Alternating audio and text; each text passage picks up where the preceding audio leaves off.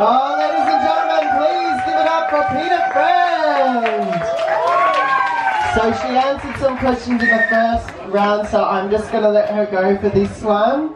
But she has some prizes to give away to two of the performers that she admired the most tonight. So Peta will be giving those away to two performers that performed here this evening. Have you had a good night, darling? I have, darling, but I, that was my last hurrah.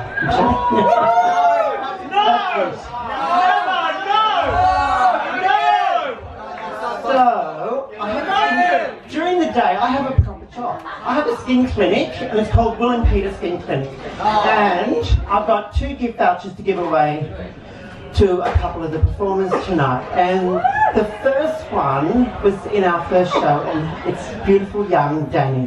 So here you are, darling. Come and get it.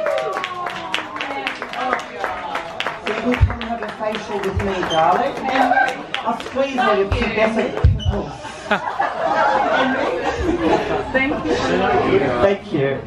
Now the second one is yes, it's me just consulting. No, it's not you, bitch.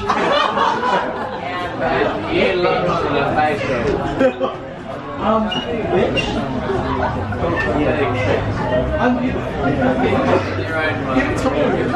I don't know.